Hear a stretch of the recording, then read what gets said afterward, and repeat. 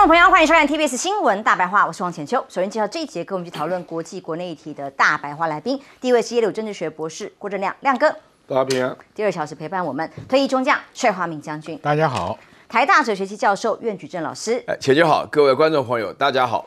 在美国的选情方面，当然在峰回路转之后，现在贺锦丽代表呃民主党来出战，几乎是没有悬念。连奥巴马有段时间媒体猜测为什么他没有表态，一有一段画面看起来是有点 say 好的啦。奥巴马刚好打电话给贺锦丽，这段内容表示力挺，看看这段画面。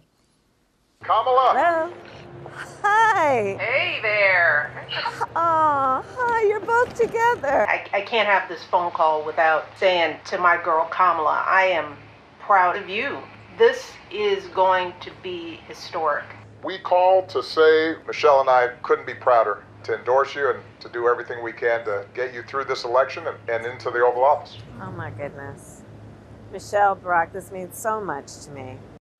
为什么说 say 好的宣传？因为已经开扩音了嘛，手机，然后还刚好录影都录得好好的，然后声音这么大声，就代表了欧妈妈跟 Michelle 一起表示他是共同的骄傲。秋天之后预计就会加入浮选。那巴黎奥运当然盛大开场啦哦，前 NBA 球星科瑞也挺贺锦丽选总统。要明白我们国家现在分裂到什么程度了，希望贺锦丽顺利当选，明星纷纷表态了啊，包括劳勃迪尼尼。尼尼洛等等的，大陆的网友呢怎么看？风向有没有变啊？有意思是有个观察是说，美国副总统贺锦丽开设的 TikTok 账号，那这个账号呢，本来是一直被这个美国现任的政府啊一直要追杀，有些川普啊等等人都要追杀的 TikTok，好像牛鬼蛇神。结果他自己不但开了账号，还 PO 了影片，看看这段画面。Madam Vice President, are you on TikTok? Well, I've heard that recently I've been on the For You page, so I thought I'd get on here myself. 所以他开 TikTok 代表什么呢？大陆网友认为让贺锦丽当选对中国比较好。为什么？各种分析，各种理由。但他是说，哎，重点是，与其川普，还不如是你，因为这样子的话，可以把这个美国，他他担心我们这个说法是说，担心川普做的真的把美国带上来的话，那麻烦嘛，还不如交给贺锦丽。这是他的一种分析跟看法啦。但《华尔街日报》的民调先前已经有 CNN 啊等几家民调，这次最新的《华尔街》民调也显示，支持度在相差伯仲之间。只有两个百分比，这么的近。现在甚至已经贺锦丽逆转胜啊，两个百分比。现在贺锦丽跟川普的声势五五波是几乎都在这样子的分析上面，包括 Political 的民调哦，关键摇摆州大概有七个州。那目前被看到这三个州的影响是变化差距最快速的。宾州有十九票的人选举人票，密西根十五票跟十票，这个结果看起来贺锦丽甚至已经可以逆转。领先，甚至达到平手，在威斯康星州，所以代表这些选举人票都还有的拼，也不像有些人觉得这个，哎呀，是大势已去，民主党没救了。看起来现在的选情反而这个民主党士气大振吗？美国的大规模民调里头，甚至在七成的种族这个议题上面，黑人信任贺锦丽远高于川普，这也是必然的。这是来自于美国非裔智库黑人未来实验室的民调，认为这个巨大的鸿沟呢，是在于川普啊、贺锦丽啊有色人。种当然对于贺锦的信任会高很多，高达七十一个百分之比的信任度，而川普呢多少？只有五个百分比。所以当川普呢言行，大家都知道他很容易言行暴走嘛，这是他主要的可能的致命伤。所以马上有一本新书出来哦，他的侄子写的。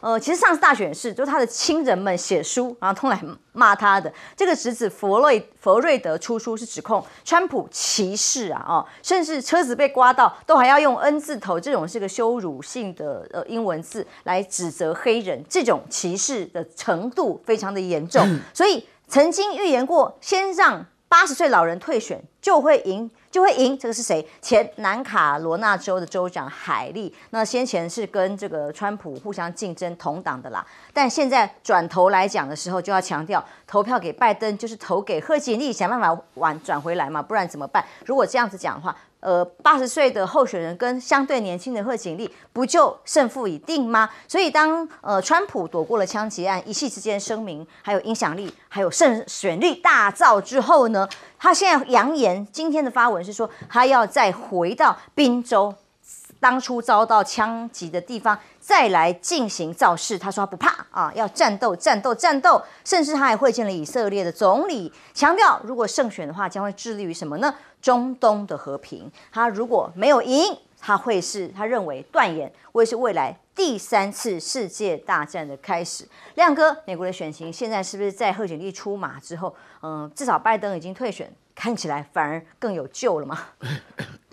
我觉得民主党是回魂了啦，啊，就是他的支持者就踊跃表态，那愿意投入呃投入战场啊，啊，所以你你当然就会看到一大堆勇于表态，你民调都会变高嘛，都是这样啊，啊，那我我觉得两边两边那个互相抹黑的呃就选战已经开始了啦，而且都相当低级啦。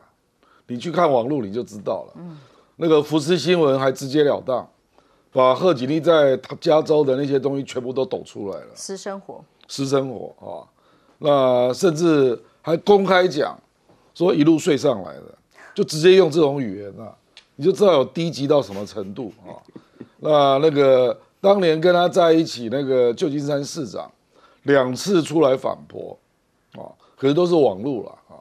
那当然，民主党因为民主党好莱坞几乎都支持民主党的嘛，啊，那所以很多比较有名的网红啊，还有好莱坞的明星啊，都自己做骗子来挺贺锦丽，都在骂川普啊，所以我认为会非常激烈啊，那个那激激烈的程度，当然就是也会伤到美国的主流媒体啦。我讲白了啦啊，因为支持川普的大概大概只有《华尔街日报》吧，那还有福斯新闻啊，那其他的几乎都是支持贺锦丽的、啊，所以就产生了一大堆网络媒体。我现在就看到一大堆网络媒体，然后他们在集结啊，要购要造一个更大的网站，这样，然后要帮川普，那里面都是很多都是不堪入目，或者根本就是谣言，可是谣言满天飞了，两边都是了啊。那当然，贺锦丽就是批评川普就是一个骗子嘛，人格有问题嘛，重罪犯呐、都是这一类的。然后搞民粹，会进一步分裂美国啊，大概这一类。那川普这边就攻击贺锦丽，就是你就是有史以来最左的总总统候选人，最左的，那就列出他以前的很多记录了啊。那个有很多记录是错的哦，可是他们照样列，什么他重放了多少罪那个罪犯，然后事后那些罪犯又再度犯罪了啊之类的啦。还有贺锦丽那个支持那个怀孕七个月以上的人堕胎啦，很多都是错的。可是到处都是这种东西啦，你知道吧？呃，所以我是觉得 真的是比我们台湾还可怕了啊！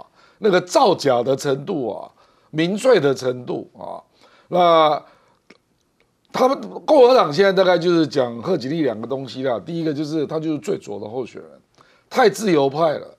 然后第二个就是他根本就没有准备，那就是说未来你就知道他个程度非常差啊。那这个也有一定程度的真实啦，因为贺锦丽以前关心的议题都是两性平权啦、堕胎啦，还有少数族裔的权益嘛。他对全国的经济、世界的大政治这种外交这种议题，他从来没有发表过意见。是哦，所以他需要恶补。那恶补未来就要接受主流媒体的访问嘛？那恶补你们能不能把表达的让人家觉得你真懂？这其实是两回事哦。你用硬背的、带小抄的，哎，对，那不一定能够表达哦。那当然，最终就是看九月那个辩论了。没错。那本来是九月十号啦，那结果福斯跳进来说他要加办一场九月十七啊，所以不知道。可是我是觉得最终哦，还是那几个关键州的中间选民的移动啊啊，所以贺锦丽的副手变得很重要对，哦。目前已经有两个人传出来了，听说他已经接触了亚利桑那那个太空人，那个 Mark Kelly 啊，他已经接触了啊。啊，可是如果为了铁锈带这些州啊，那宾州那个参议员那个 Shapiro，他可能也要考虑一下。反正一定是搭一个男生啊，那基本上 如果是这两个的话，这两个都是中间派。嗯，那可以缓和贺锦丽的长期给人家的激进的形象了啊。那我我觉得他应该很快了，因为民主党大概八月九号之前要全部定案。是所以副手可能在下个礼拜就会公布了。必须要快点出对炉啊！那当然，下一场辩论会是一个重要的关键之外，现在选举形态真的完全不一样。过去就是看在主流媒体上面的演说啦、报道啊，现在网络黑的要回都没办法回，要真的要是以就什么 fake news 啊，有办法去更正太难了。所以这次选举量太多了，真的是太多了，多到你也没有办法回应，那就是一个印象形象。然后如果用所谓的呃恶性的网络战黑到底而已。这个东西啊，因为大家对这次选举太忧心了，讨厌川普的也非常讨厌。好不容易拜登下台了，那不管贺锦丽怎么样，都要拼命支持，因为他们对川普有恐惧感啊。对，因为这个不可捉摸的一个人呢、一个政治人物，这个形势完全是不符美国的这个政治传统嘛。那当然，这些自由民主党的人很担担心。那么贺锦丽一出来，拜拜登这个大病啊，已经拿掉了，所以就出来。那川普呢，就发动更多的这个假消息，所以这个问题现在又快要陷入五五波的这状况。因为的确有很多人对川普是不放心的，恐惧的。川普是靠铁粉啊，跟那些，但是问题就是说，你得罪黑人是很麻烦的，因为白人的占比啊，只不到一半多一点点。黑人西班牙裔的这个人口也是不少，所以这个边的票移动一点的话，川普也有点有点威胁了。所以这个问题就看最后这一个月、两个月的发展。所以川普感觉到强烈的一个也不安全，给他取个外号 “American Great American Happy Again”。我要是贺锦丽讲 “Happy” 有什么不好？现在老百姓都苦哈哈的，对不对？所以这个问题，这个文宣呢，跟金主是决定。当然，他的辩论会的表现是很关键。但是我要讲一点，你要会用人的话也没关系。当年的雷根干的那么这么出色，他也是个演员呐、他不见得对国防经济有多少修养，但是他很虚心，可以接受，加上一个幽默感，化解很多哎，一个幽默感化解很多危机了。布雷根准备很久了，他也当过州长哎、哎，当州州长，媒体相对熟悉，毕竟他还是演艺生涯最是长嘛。阿诺还不是当过州长，也没看到有什么东西出来。所以问题就是说，个人的素质很重要。我觉得辩论会是影响关键，可能会在中东的选的影响会是什么？战争，川普一副可以结束战争的样子。川普要结束战，贺锦丽何尝不想结束呢？只是现在不能够讲的太大声，是怕得罪犹太金主啊。中东这个问题啊，他也讲啊，我我觉得巴解这个状况他不可思议啊，他也不能接受啊。那换句话说，他也并不是支持以色列那么强烈，可是川普是支持以色列的，所以川普支持以色列，全世界的声量又不会支持川普啊。因为现在遗遗传论是全世界的一个 common sense 啊没，错，欧洲不是在遗川吗？中东不是遗川吗？对不对？台湾在依赖，人家在遗川呢，对不对？一样的哎，一样嘛，因为大家都在创冷蛋嘛。嗯，川普上台，关税加高，我的经济怎么搞？小院高墙，我的经济链、生产链怎么搞？这大家都在担心嘛。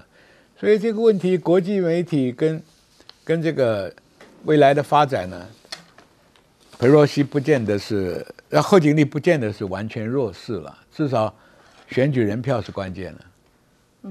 是因为川普当过总统，大家对他的熟悉度相对知道他当了总统会是什么样子哦，啊可能可可能会失控，不可预测哦、可能大家有个想象。但贺锦丽其实相对表现的没有那么多，那过去的确被攻击蛮多的，说哎只会笑啊，没有内容啊。但这一次其实在整个选情真的是满是惊奇，本来以为那一枪枪击之后大概大势已定，川普当选中，现在又有的拼了。这个我必须要强调啊，这个美国在选举的时候呢，有三项议题啊，就是媒体、金钱跟明星啊，而且他们传统上都是比较偏向民主党的，所以贺锦丽在这种情况下，在完全没有准备的情况下，就是声势看涨，主要是因为呃媒体大部分都替他做宣传嘛，然后那些明星啊也做做宣传，然后金钱方面的话呢，自然而然的话呢表现还不错。不过请大家注意啊，美国的选举制度很特殊啊，美国制度的话呢，就是我刚刚讲的三个因素比较国际化的因素都集中在加州跟纽约州啊，请大家记住啊，这个东西两岸的情况下，东北角再加上加州，他们实际上占的选票。因此这一次的情况下来讲的话呢，这个是摇摆州变得，尤其是中西部的摇摆州变得极其重要啊！这个大家要搞清楚，因为你是积少成多，大家可以看得出来，美国国情啊，美国的州地图拿出来一看的话呢，这个川普的选票大部分都是集中在整个中部啊，沿海地区的话呢比较少。那么这个也是美国长期分裂的结果。不过呢，这个川普的情况下呢，既是属于意料之中，也是属于意料之外的原因，就是因为他的个性的关系。事实上，反川的人士非常多，那贺锦丽反而站上了无能，没有机会表现，让大家充满了希望，至少会比川普要稳定一点。因为川普的话呢，他说过几句狂言呐、啊，啊那么我随便在这边讲强调，他的曾经说过说要轰炸北京啊啊，他他这个说过狂言啊，他说一天之内啊要让那个俄乌冲突结束啊。那这一次的话，你们在消息中特别提到有关于他，请大家注意啊，这个纳坦雅胡的话呢，晚上利用时间最后安排到海那个海湖山庄去，你们跟川普见面的时候啊。通常来讲啊，我们遇到见面人当中的话呢，最后一个安排呢是有最充足的时间沟通，也是最重视的。那在这种情况下的话呢，他里面安排的非常高兴的结果，他曾经啊，川普针对于中东和平的计划，他是讲过一句话，警告哈马斯，你注意，如果我上来，你们大概更惨。啊，所以说也可以了解到，美国在川普底下，他所谓的中东和平的话，基本上的话呢，他可能表现的比纳坦雅胡要更直接一点，更强势。更强势。所以说大家会觉得说，两边的战争都会结束。对于美国来讲，可能不会结束，因为美国拿不出什么具体的办法。但是贺锦丽到目前为止的话呢，我必须坦白讲，我没有看到贺锦丽针对于国际的局势有任何的发表。所以大家的话呢，看样子的话呢，大家支持贺锦丽是希望那一批民主党的模是，比如说布林肯啊、沙利文啊，他们对于这个基本的立场的表现的非常清楚。那么也在这种情况下，他们也不希望俄乌冲冲冲突结束，也不希望这个以色列的话呢，就是明显的是占据下风。在这种情况之下，大家可以看得出来，贺锦丽目前为止，我必须坦白讲。实在是太赶了，那么出不出来什么线索？现在唯一的情况是九月份的原来那场辩论，但是川普的阵营有一点改变哦。川普说：“哎哎哎，hold on，hold hold a second，因为川川普原来是要跟拜登 啊急急忙忙要辩论的，那现在换了贺锦丽了，那还是不是一样的情况下？所以我觉得九月份的辩论的话呢，有两个议题大家可以稍微注意一下，一个就是有关于这个堕胎的问题。”啊，那那个另外有关于这个说的是实话还是谎话的问题，就是过去的记录问题。过去的记录的问题的话呢，两个人其实讲起来的话呢，都是伯仲之间。还有零元购呢，啊对贺锦丽来就是啊我讲说他在当这个加州的首席检察总长的时候，因为贺锦丽一路睡过来的话呢，川普一路上也睡了不少嘛，所以说这个绯闻也是不断。但是呢，有关于真正的议题，美国人比较在乎的是整个堕胎的问题啊，因为贺锦丽长期来讲是认为对堕胎要采取开放与宽容态度，而那个川普的话呢，本身对。对于这个堕胎的话呢是比较保守的，所以在这个问题上的话，他们在辩论中会变成一个比较大的一个题目，啊，所以说大家是可以期待了，到了九月份的要辩论的时候是精彩可期啊，嗯。那这种情况下的话呢，大家会可以了解到，说贺锦丽到目前为止，我不觉得他是一个真正很有实力的候选人，但是我会觉得说，呃，川普在这边的话呢，也想不到贺锦丽有这种结果，但是我觉得川普也是在制造一种威一一一种感觉到自己英雄的形象，所以他回到宾州去，原来在布特勒的那个地方，就是他耳朵挨枪的地方，他要回去要展现他什么都不怕英雄的感觉。就其实我跟你讲，大家要了解美国中西部的人呢、啊，因为我对中西部比较熟一点，家里亲戚关系啊，美国中西部人表现比较传统，美国人这种英雄主义啊。那美国两岸的话呢，这个加州跟纽约州的人话呢，表现的好像比较自由一点，这个是真的不一样。那我们这边得到的讯息，大部分都是两岸的讯息了。是，当然，美国的盟友们对于美国的变化哈很担心，很多人连欧洲都害怕，对不对？那对方的竞争对手呢？来看看在呃中国大陆跟俄罗斯方面的反应。罕见被形容罕见，是因为中国有两艘的军舰突然闯到北约海啊，其中德国、丹麦、瑞典战舰全程陪同。哎，这两艘船分别是南海舰队的鸿鹄舰以及焦作舰。这两艘大舰艇呢，就要从这么远的地方一路要开到俄罗斯圣彼得堡。那在开的过程，因为穿越了丹麦，也穿越了瑞典，以至于一。旁边呢、就有随同的这个丹麦跟瑞典的船全程监控，一直陪他们游啊游啊游，航行到了俄罗斯的圣彼得堡。所以现在在大家来看说，包括驱逐舰西安舰，二零一九年荷兰鹿特丹岛，那个已经是五年以前至少以上会发生的情况，而这一次到这里来才会引起这么多的担心跟关注啊！被说没有邀请函，怎么回事？就是在这个环太军演的现场，哎，出现了中国大陆的这个相关军事。包括了八一五幺 A 的电子侦察船，还有所谓被誉为中国海军之眼的这个军事的设备，在附近被说是用就通讯讯号在了解或掌握最新的演习情况吗？那中俄的军事合作紧密，我们可以透过画面来看一下。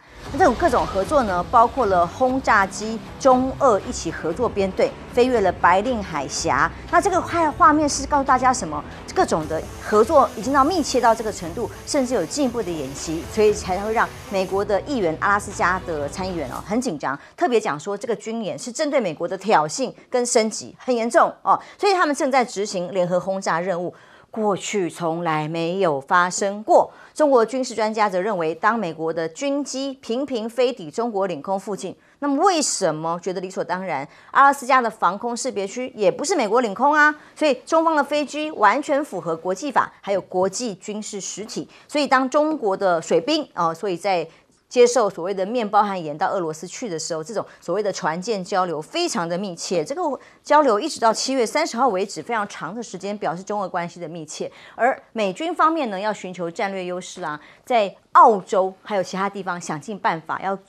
这个创造更多的合作基地，例如澳洲的美国国防授权法呢，拨款三亿美元。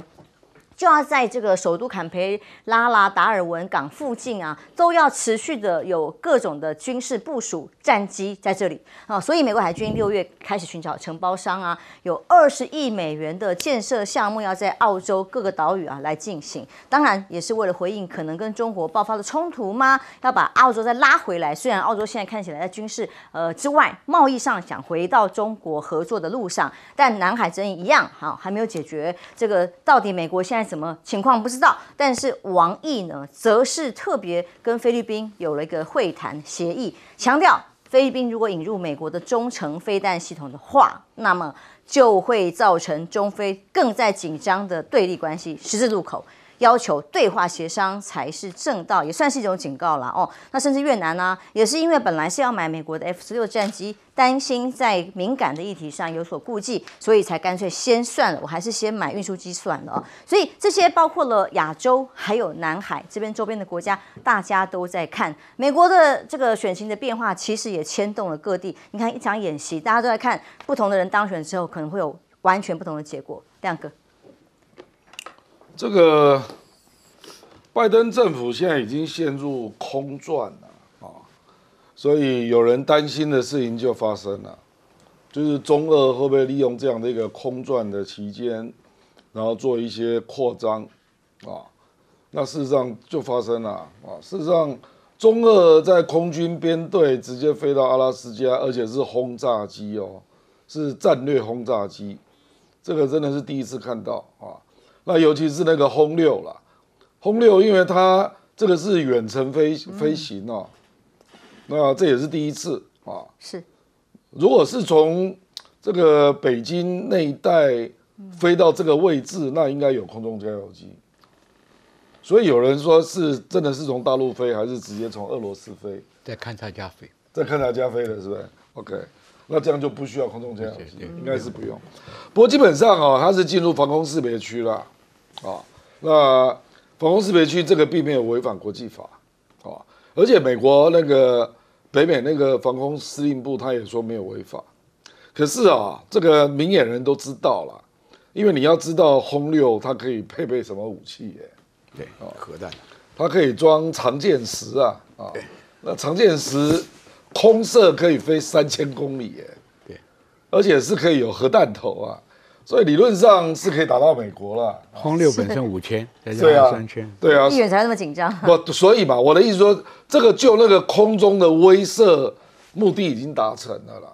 他就是要跟你讲说啊，你不是我也要自由航行啊，因为你都给我搞自由航行。那事实上以前就搞过海军的嘛，也是中俄的海军联合，也是到阿拉斯加附近。那这次是轰炸机，战略轰炸机。那个俄罗斯那个图九九十五也是战略轰炸机啊。呃，所以我我认为这个是突破性的，具有里程碑的意义啦。啊，里程碑的意义。实际上，中国大陆最近还做另外一件事，他在那个日本那个宫古岛，就是南方啦，大概三百五到五百公里左右，那个山东舰的舰队在那边待了八天，然后起降，他就在那边练在在舰载机嘛，然后在那边起降了四百二十次。然后后来就整个舰队穿过台湾下面了，然后开开开到南海，这也是第一次，因为日本防卫省把整个记录都记录下来，然后还登在防卫省的公报。我们台湾是一个字都没有，我们台湾一个字都没有，我们台湾只公布海空军嘛，海军从来不公布。台湾处变不惊，呃，处 不了，人家 人家日本防日本防卫省是把整个记录都 告诉我的第一天在哪里，第二天在哪里，他连续待了八天。嗯，那日本也是很紧张啊，哦，就是一个航母的编队在他的西的西南方了啊，所以，所以我我觉得你如果从这个角度看，那当然就意味着中俄啦，或者是中国大陆的超过第一岛链到第二岛链的。的那个部署的行为已经越来越明显了啦。我觉得未来还可能更进一步。嗯，搞不好中俄的联合的舰队啊，直接穿过台海到越南，这个都有可能哦。我我认为俄罗斯，俄罗斯也会想到越南啊，他跟俄越南是好朋友啊。对，金兰湾本来就对啊，那他还当过基地，金兰湾的基地，所以他如果说我要去那边蹲木舰队。那我穿过台湾海峡的公海，你你能怎样？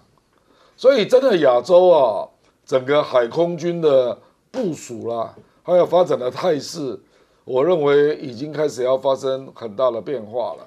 因为阿拉斯加那边就算北太平洋了嘛，那事实上还有另外一个也在发展，就是北极合作。这个美国在二零二四年的北极战略的报告就直接写这一点。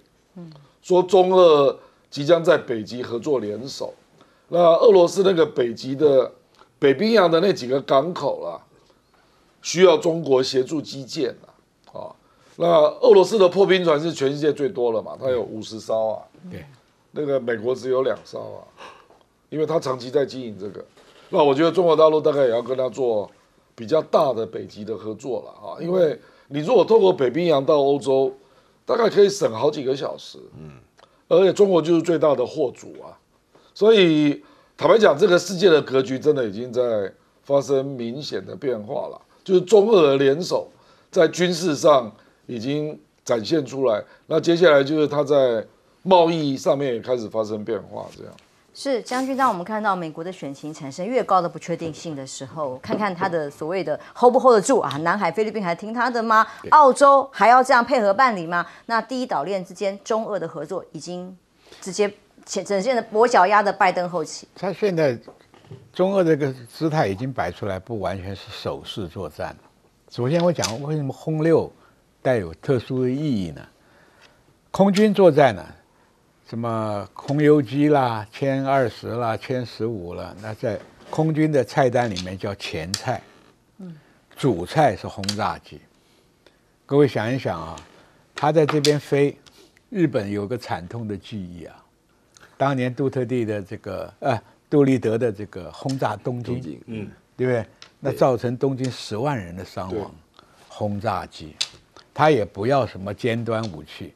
就是足够的带着弹药下去炸就是了，因为东京的木质结构的房子很多，烧得很惨，所以你看刚刚讲哥讲的这个山东号在那边练起降，他能不紧张吗？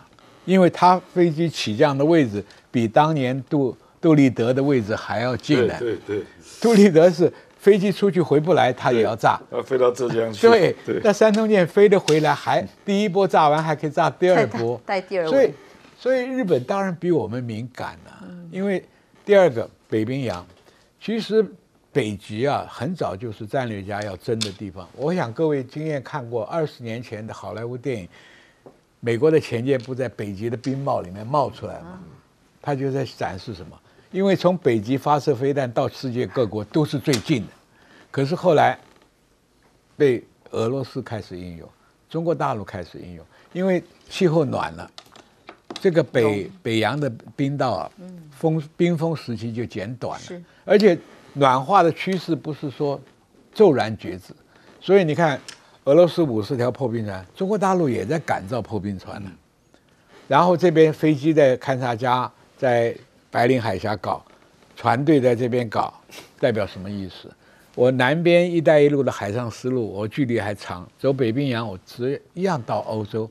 再看中国大陆的高铁建设，从俄罗斯一直贯穿中国成都，一直到马来西亚，我们整个陆权这个欧亚大洲里面，看一个十字形，海上丝路两条，中间的高铁再加横的“一带一路”的这个欧欧洲班列，十字架在两条，代表陆权国家已经克服了崇山峻岭的阻隔，把这些开发中的国家都激发起来了。将来陆权国家的的经济发展不可限量，那完全是靠中国啊！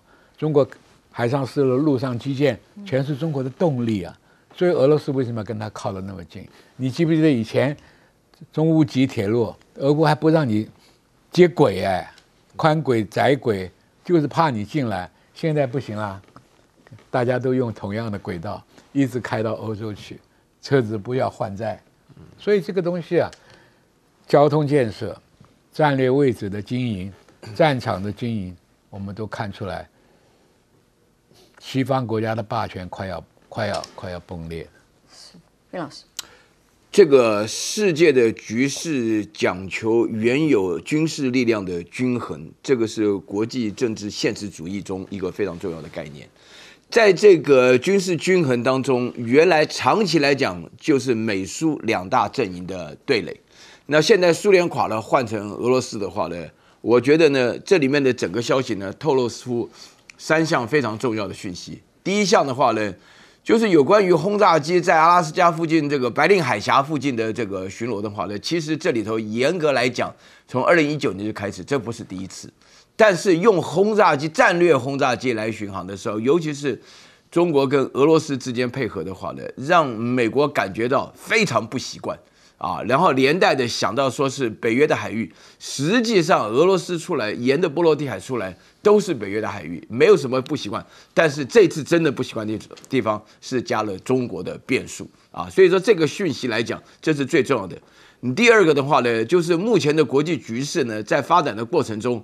因为俄罗斯跟乌克兰之间的冲突，导致于俄罗斯实在是没有办法。我在电视中强调很多遍，俄罗斯人长期来讲是没有很看得起中国人，但是现在的话呢，强调无上限的友谊，背靠着背啊。其实的话呢，在整个需求上，无论是高铁啦，无论是建设啦，无论是民生用品啦，无论是基建呢，通通都需要中国。而且中国本身的话呢，确实能够配合。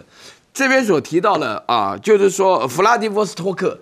就是海参崴啊，哎，这个字在念崴啊，海参崴啊，就是我原来我们山东人就叫海参崴，哎，我们大家都习惯念海参崴啊，但是我们原来的话呢，啊，这个大连人就叫念海参崴。大家地图一打开，这个港口太重要了，它不但是不动港，而且它距离长春出海地方只有十五公里，非常近。它刚好因为逼迫的整个中国东北只有大连一个出海口，其实长春这边透过这个港口，所以中国的海军能够到啊，就弗拉迪沃斯托克来讲的话，能够到海参崴，而且受到欢迎的话，其实是中国原则上能够他自己俄国俄罗斯自己都没有什么比较好的不动港，这个海参崴是它一个比较重要的港口，现在跟中国共有，的开发大远东计划。还有第三点的话呢，我觉得这个问题非常严重，就是说对美国来讲，有关于这边连线，大家可以看到台湾以南下去，隔了巴士海峡以后，到达菲律宾啊、南海，然后澳洲什么这一长条线当中的话，都出现了中国变数，这个是美国最害怕的。美国自己来讲的话呢，到目前为止，就是只要能够维持原有的军事上优势。就不错了，但是看样子很困难，因为大陆目前为止，原来啊，我我相信大家一定要了解，原来我们在台海能够保持这么长期的和平的话，原因是第七舰队占的非常重要，就是那个海军的比例啊，美国的海军远远跟着大陆的海军之间的话呢，它是占了很大的优势。可是今天的话呢，这个优势不在的话呢，各方面我觉得啊，这个真的是要非非常小心这件事情。那日本本身来讲，就存在有强大强大的危机意识，所以日本会觉得比较小。因为我们台湾现在，我说句良心话了，因为你公布也没用啊。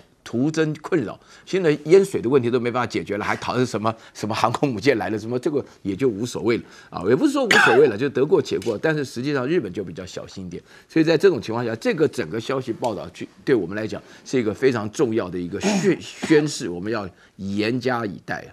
是好，那现在全球还有关注一件事情，就是奥运喽。在巴黎的奥运会热闹的开幕，虽然先前不断传出来有恐攻的消息，还好也都是这个虚惊一场，或者是没有造成太大的损伤。奥运开幕升旗，哎，五环旗挂反被笑了哦。当然，这个是呃五环旗好像是在瑕疵啊，这个不小心做的这个做法，让大家在网络上疯传。但是呢，南韩的选手进场的时候被讲成北韩的时候就不一样了啊，那个就当然。当然，民众很不爽啊，这也太严重了。对，这个就对于韩国民众讲说，这个是荒谬啊，痛批啊，说说痛。那巴北韩也痛批啊，因为北韩选手出场没有失误啊。韩联社报道，所以他就巴黎奥运会会华丽，但是却杂乱无章。因为我看到这个塞纳河上出场是很美啊，很漂亮啊，巴黎人的浪漫啊。但浪漫之余的出的错、出的包，嗯，像这样就很让大家不爽了啊。例如像中国网民也不开心，为什么？因为中国的选手被并传了 好几个团一起，然后还他们的队伍的人在镜头的最后面，只顶多只有五秒钟带到，那以至于还有这个其他人只好说啊，那还好说加拿大跟他们并传的人穿的是红衣服，啊，不然以为都都是咱们家的，都是穿红衣服的。那美国队他们不公平，他们就喊啊，美国队一整条船都是，为什么连韩国人都有自己一艘船？那为什么他们又还要跟别人并了好几船，以至于镜头都少很多？那或者是中国红这个中国队长马龙挥舞五星旗的画面，现在立刻就在中国网友现在最关注的话题，这个奥运会哦。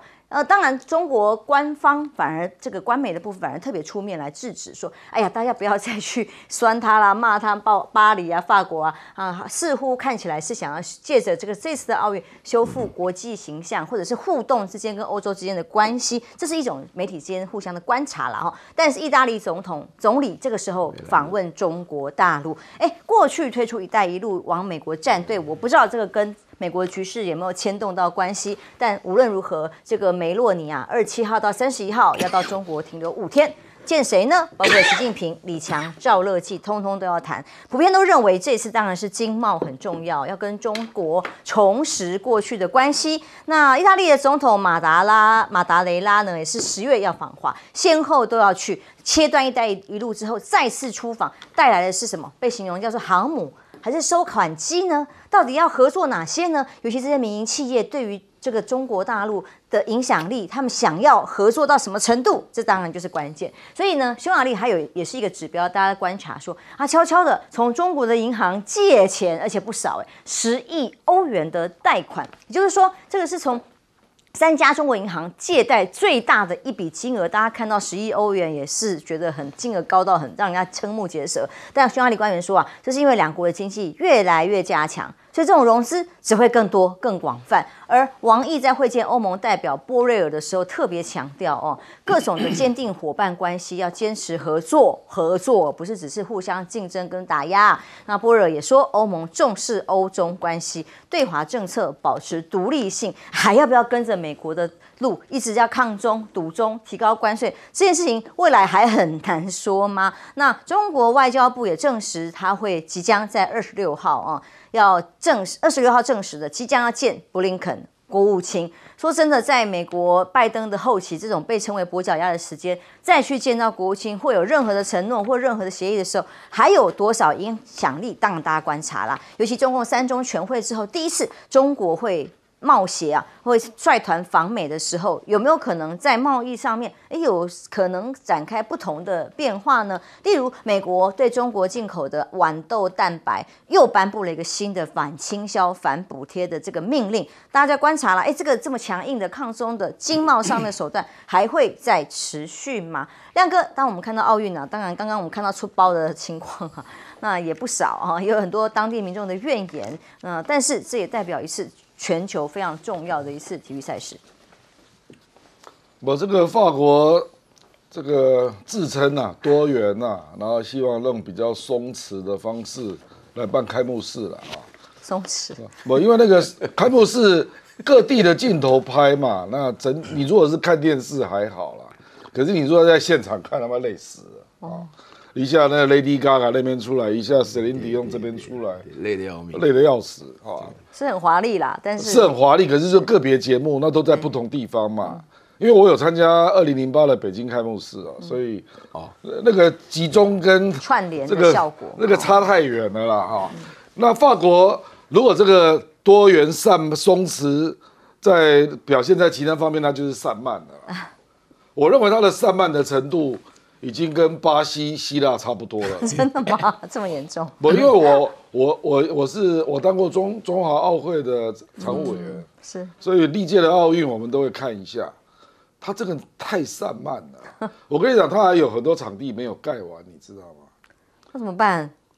就还在拼啊，啊，还 可以这样啊？还在拼啊，不因为罢工啊啊，罢工啊，是是是，法国罢就是法国的法国的传统啊。哇塞然后那你个越需要他越罢工。然后那个选手到了巴黎才发现没有冷气啊，哦，对对对，就临时调了一千五百台冷气来啊一。千五百台，那它的温度现在是夏天呢、它平均温度可以高到三十二度、哎，二十七到三十二，高的时候，你竟然不提供冷气，这开什么玩笑嘛？巴黎本来冷气就少，对了，没有错啦，可是没有错，人家真的。对对，你问人家是来运动。讲到的，重点，没错，这个这个是没有错啦。不这个巴黎很多计程车是没有冷气的，没有错，没有错，旅馆也没有人，对啦，真的。可是就是说这个情况，那所以你说那个中中国队因为七百多人嘛，那他要被并传哦，这我完全可以理解。哦，真的他就是规划的不好嘛，所以就会造成你的没有办法挤在一个船上嘛。而且我讲白了啦，他是偏袒美国嗯，那对中国有一些故意找你麻烦打压？吗？这最明显的就是游泳队的药检嘛，嗯，那个大家都知道啦。还有取消了项目啊，增加了项目，增加了项目，比如说什么霹雳舞啊、冲浪啊，还有攀岩呐、那个都是对美国有利的嘛。嗯，其实奥奥运哦，通常那个东道主他最多可以增加两个项目，那法国他有增加项目，可是他后来增加的项目都明显对美国有利。然后举重被砍掉四个项目，嗯，对我们举重对中国比较有利嘛，嗯，哦，所以我觉得就是中美两国在较劲啊，就是谁金牌要抢多了啊。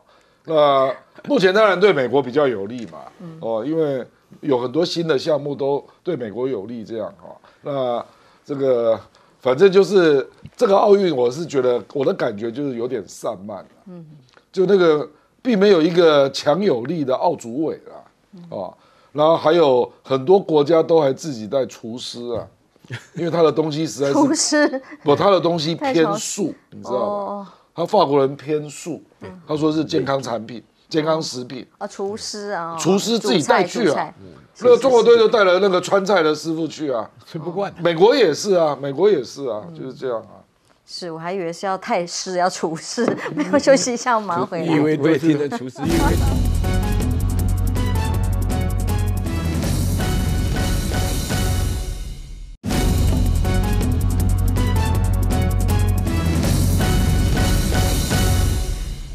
巴黎奥运盛大开幕，当然当中有一些啊，包括当地居民抱怨呐、各种秩序啊，那相对要浪漫嘛，那可是各国的这种抱怨声不断。其实大家最担心还是恐攻啦，哦，那这一次在感觉有一些差别待遇吗？项目的选择上也有观察的指标。这个巴黎这个城市啊，我讲了，以前的气候啊，巴黎真的不需要什么冷气。我多年前去过好几次，旅馆价价钱不便宜，冷气没有。啊，老城区里面啊，那个电梯我进去，行李进不去，行李进去我进不去。所以你想办这种国际大赛，世界各国的观光客都来了，对他们的除了居住品这个品质上，冲击很大。哎，一定一定不是会很满意。第二个，我女儿在法国读了四年，回来的心得就法国政府办什么事都很慢，对，效率很低，一件屁事可以办一天。你想想，各种国家的代表队去，到奥运完了会不会再跟中国一样有好评那么多？我相信不会多，因为你这个接待工作，你从开幕就是这个样子啊。嗯，那你选手村、试运村，你你的招待跟接待是什么样的？对不对？你办一些场面是很浪漫的，问题华丽了，嗯，选手在这边，像美国那些选手，一顿饭里面没有个牛排大块的猪肉 牛排，他他他觉得卡路里都不够啊。他自己法带国菜啊他自，己我们在法国菜自己是吃了半天不知道那什么材料，流行素食啊，这里面一堆不知道什么玩意儿。所以你看啊，饮食它就比不上中国办的那个各种菜色，跟这个二十四小时周到跟精二十，四小时供应呢、我你不信，你过两天看，巴黎绝对没有。嗯，他伺候的这个方式绝对比不上别的国家，所以这个问题啊，我敢打赌，奥运一结束，各国对他的评论，尤其是选选手的评论，你去看好了。嗯因为这个这个国家习惯是这样子，他他就做什么事都很散漫的，不是很很有劲儿的那个。浪漫嘛哎，浪漫，他浪漫嘛。所以我 我每次听我女儿讲，我说哎呀，怎么会这样子呢？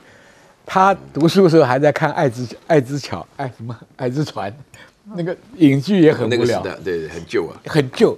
他法国人爱爱克劳，就是一天到晚老聊天呢、聊天呢哎，他的聊天节目特别多，巴巴拉拉巴拉巴拉巴拉，所以你看他的电视也很无聊，真的，这真倒也的很无聊是真的。。你凡是了解法国都知道，有有有有没有一点好话讲嘛？我至少我待了十几年了。我我只有在 Crazy Horse 看的不错。哦，啊啊，那个叫风马俱乐部罗马俱乐部。是是是，好，我们休息一下，回来再继续谈，包括了在欧美之间局势很大的区域的变化。马上回来。